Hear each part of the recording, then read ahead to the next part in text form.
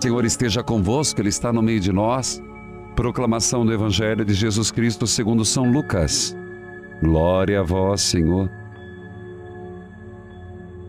Em seguida, Jesus foi a uma cidade chamada Naim. Os seus discípulos e uma grande multidão iam com ele. Quando chegou à porta da cidade, coincidiu que levava um morto para enterrar. Um filho único cuja mãe era viúva. Uma grande multidão da cidade acompanhava ao vê-la. O Senhor encheu-se de compaixão por ela e disse: Não chores. Aproximando-se, tocou no caixão. E os que carregaram pararam. Ele ordenou: Jovem, eu te digo, levanta-te. O que estava morto sentou-se e começou a falar. E Jesus o entregou à sua mãe. Todos ficaram tomados de temor e glorificavam a Deus, dizendo: Um grande profeta surgiu entre nós. E Deus veio visitar o seu povo.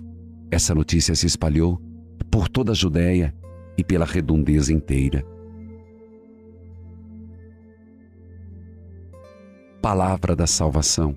Glória a vós, Senhor. O evangelho de hoje fala da ressurreição do filho único da viúva de Naim. Naim é cidade. E revela Jesus como Messias, prenunciado pelos profetas. Aquele que fora prometido como restaurador da fragilidade da vida. A chave da leitura é esta. Lembremos, o profeta Elias havia ressuscitado o filho de uma pobre viúva Lembra Elias que a mulher deu de comer a ele num tempo de seca e carestia? E toda Israel esperava a expectativa do profeta. Nutriam a esperança. No Apocalipse de Isaías, os habitantes do pó, os mortos, são convocados para despertar e se alegrar, já que a força de Deus, os defuntos reviverão e os cadáveres ressurgirão. Mais uma vez, esse Deltero, terceiro Isaías, fala da volta dos mortos. Então havia uma expectativa muito forte nos judeus de que o Messias viria para ressuscitar os mortos e a ressurreição geral para todos. O milagre que eu acabei de ler é o pano de fundo Jesus cumpre as esperanças que eles tinham. Ele, ao ressuscitar o filho de Naim, ele está cumprindo o que a profecia disse. Ele é o Messias esperado. Um grande profeta surgiu entre nós. Mas não era um profeta, era o filho do homem. Jesus, o filho do homem, veio para restaurar a vida dos vivos e dos mortos. Ressuscitar o morto em Jesus é uma ação messiânica. O que ele fará definitivamente na cruz, ele já o faz. Restaura, Senhor, nossas vidas. Restaura, Senhor, nossa existência. Restaura, Senhor, eu digo restaura. É necessário. Quando a gente fala de restauração de vida, é conversão. Restauração de vida é realinhamento da vida. Mais do que olhar o milagre de levantar um jovem do caixão, de dar vida a um defunto, Jesus o faz definitivamente como chave da vida na ressurreição. Senhor, que eu não seja vítima da morte eterna. Existe a morte eterna? Para alguns, sim. Os que desobedecerem, os que não ouvirem a Deus, os que o negarem na terra. O Senhor esteja convosco, Ele está no meio de nós. Abençoe, Senhor, a água, a roupa dos enfermos e as fotos de família. Pai, Filho e Espírito Santo. Amém.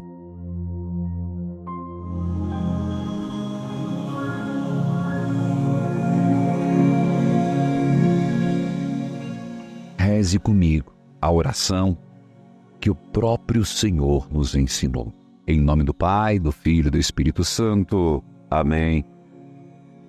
Pai nosso, que estais no céu, santificado seja o vosso nome. Venha nosso vosso reino, seja feita a vossa vontade, assim na terra como no céu. O pão nosso de cada dia nos dai hoje. Perdoai-nos das nossas ofensas, assim como nós perdoamos a quem nos tem ofendido. E não nos deixeis cair em tentação, mas livrai-nos do mal. Amém. Ave Maria, cheia de graça, o Senhor é convosco. Bendita sois vós entre as mulheres, e bendito é o fruto do vosso ventre, Jesus. Santa Maria, Mãe de Deus, rogai por nós, pecadores, agora e na hora de nossa morte. Amém. Ave Maria, cheia de graça, o Senhor é convosco. Bendita sois vós entre as mulheres, e bendito é o fruto do vosso ventre, Jesus. Santa Maria, Mãe de Deus, rogai por nós, pecadores, agora e na hora de nossa morte. Amém. Ave Maria, cheia de graça, o Senhor é convosco. Bendita sois vós entre as mulheres, e bendito é o fruto do vosso ventre, Jesus. Santa Maria, Mãe de Deus, rogai por nós, pecadores, agora e na hora de nossa morte. Amém. Glória ao Pai, ao Filho e ao Espírito Santo, como era no princípio, agora e sempre. Amém.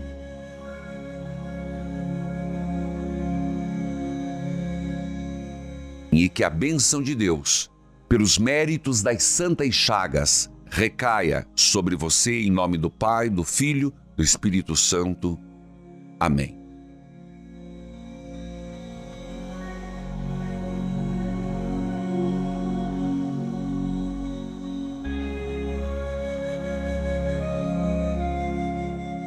Curtiu esse vídeo? Então se inscreva no canal e envie para o seu amigo ou familiar que precisa de conselhos espirituais. Evangelizar? É preciso.